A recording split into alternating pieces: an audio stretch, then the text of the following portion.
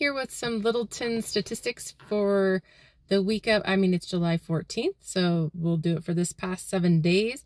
The active, I'm just going to tell you the average days on market right now. That seems to be a hot topic, and that does have to do with the time of year and interest rates. So the average days on market for the current active listings in Littleton is 53.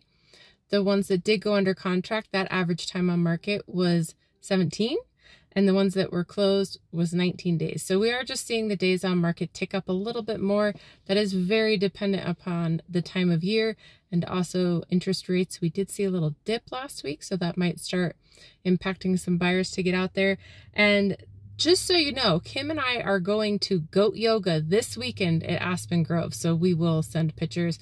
And I did get fourth place in my puzzle competition. I will include a picture uh, with my good friend Tessa. So that was really fun. Get out there and check out Littleton events. They're super cool.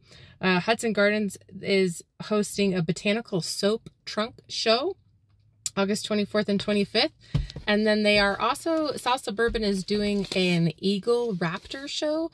I believe it's this Saturday. So check your South Suburban website for that. But get out and have fun in Littleton.